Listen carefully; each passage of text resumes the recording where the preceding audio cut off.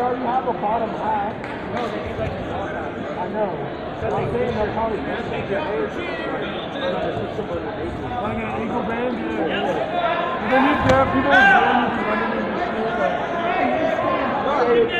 No, look. You can't tell when you're going. This one has a on, and you like slap it around your waist, and you're like, you're like, like, you're like, like a